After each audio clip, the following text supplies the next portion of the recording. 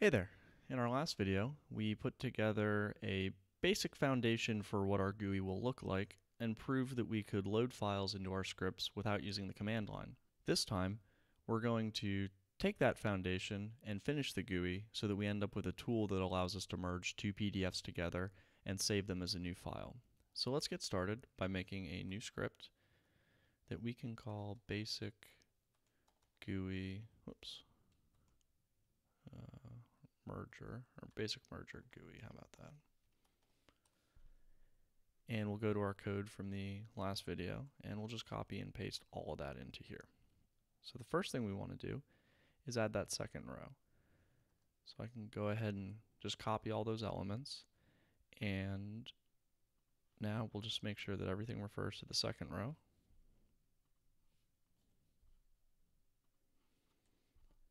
I'm sure this is very exciting to watch, but there's a good chance I'll forget one of these ones and we'll break the code. And all of our variables and functions, we want to make sure that we are referring to a second set. So we're going to go through and just make a second set of everything.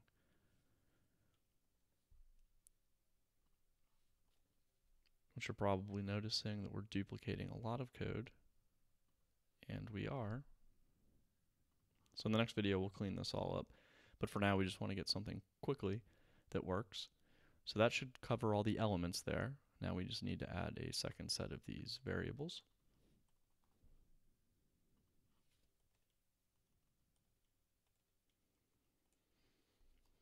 Okay, save this, and we should be able to run this and see if it works. Oh, oh boy. Uh, oh, load two is not defined. We'll copy and, well actually before we copy this, our load one script, let's just make sure that this PDF is one.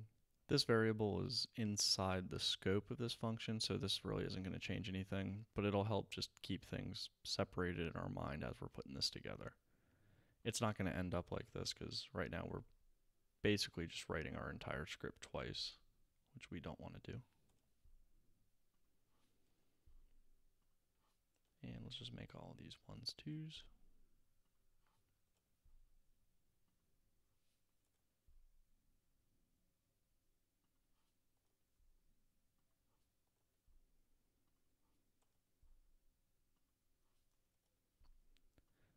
just like that. And I don't think I forgot any.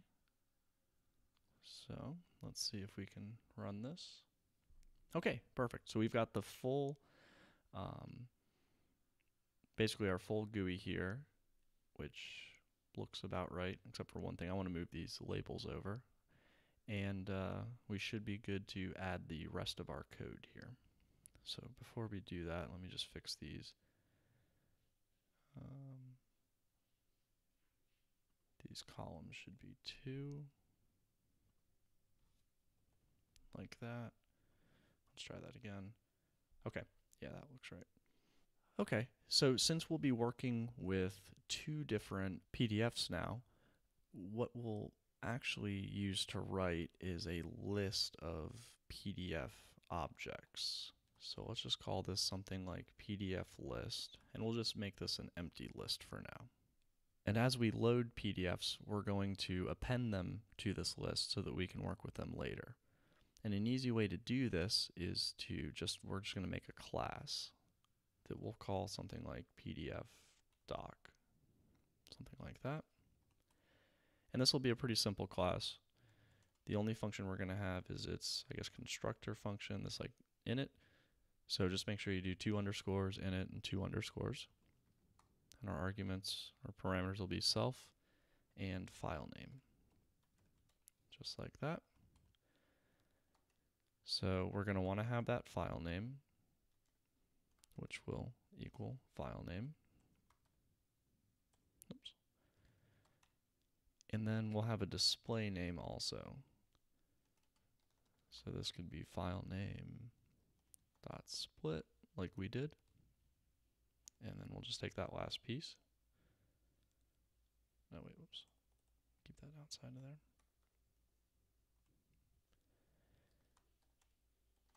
We'll make a PDF property here which will just be load PDF. So this will be our PDF file reader from PyPDF2. Like that. Our number of pages, we can now oops, just call get num pages on that object now that we've made it. And we'll have a start and an end page property, which now we know how many pages we can set our default right there. So just like that. Now that we have this class, we can change our load 1 and load 2 um, functions here. So now we're still going to want to add that file name and set that equal to this.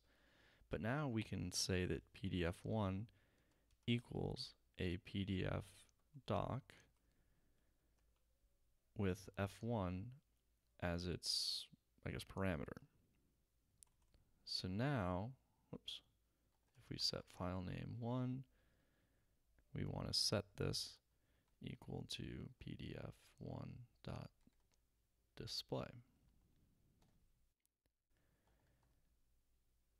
Pages 1 we can now set to PDF1 dot pages.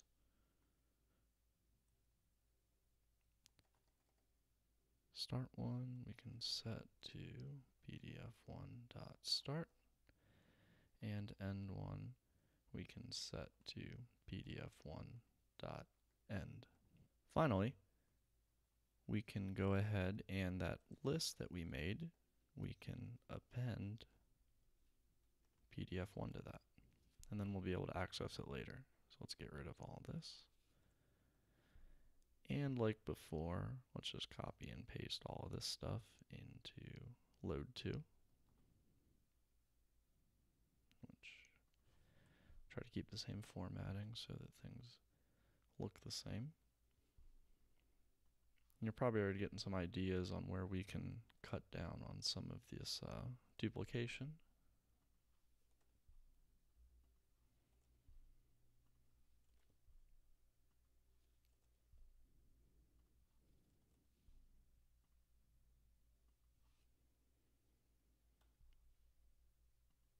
And once we're here, um, we can save this and let's just try to run it and see where we end up if we try to add two PDFs.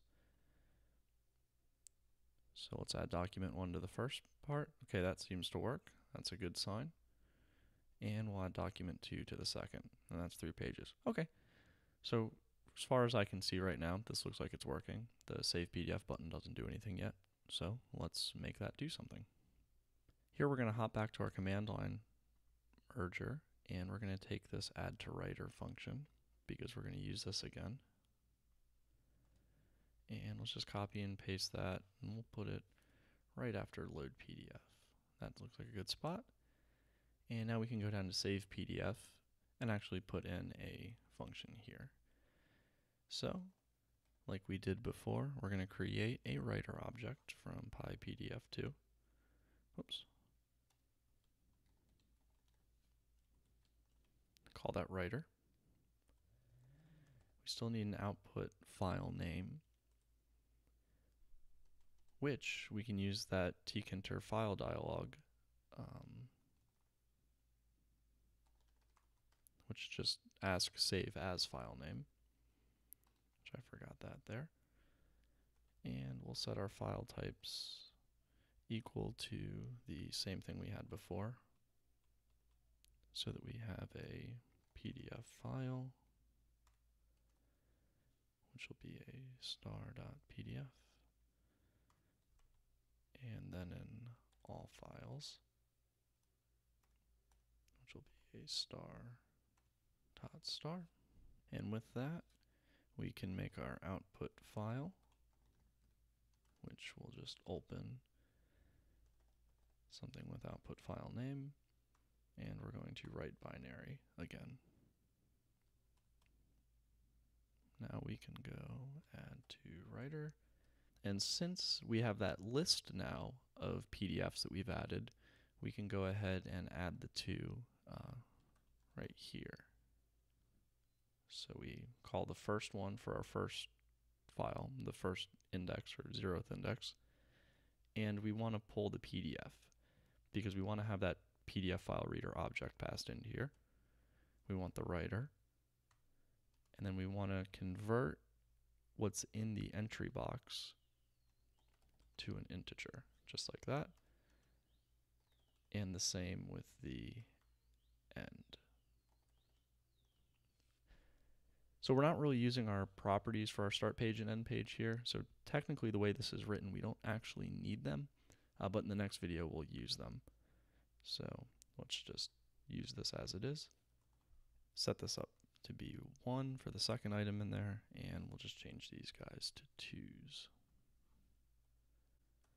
So now that we've added all of our pages to our writer, we can take writer, oops, we can write to our output file, take our output file, close it, and then this will be a little new, but we do root.quit, call the quit function, and that'll just close our window up. So now, if I've done this correctly, um, this should work. Okay, so let's try to run this and see what we get. Okay, so this looks good. Should be able to add our document. Let's add our second document. And let's only grab the second pages from each of these, like that. Uh, oh, looks like we're in a different directory. Um, I should be on my desktop. Well, no, I want this guy. And let's just call this second pages dot PDF. We're able to say this is a PDF file, so that looks great. We have the right uh, default file type. And let's click save and see what we get. Okay, that's a good sign. It turned into a PDF. Let's see if we have the second pages here. Okay, page two and page two. So there you go.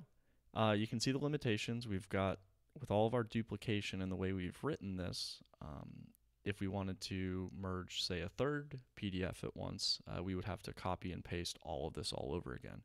And we don't want to do that. So in the next video, we're going to make this very flexible. We're going to use this class that we've made and the way we're using this on a list and um, make a GUI that'll be able to handle uh, any number of PDFs that we'd like to add uh, together and just make this look a lot nicer. So thanks for watching and uh, yeah, look forward to the next one.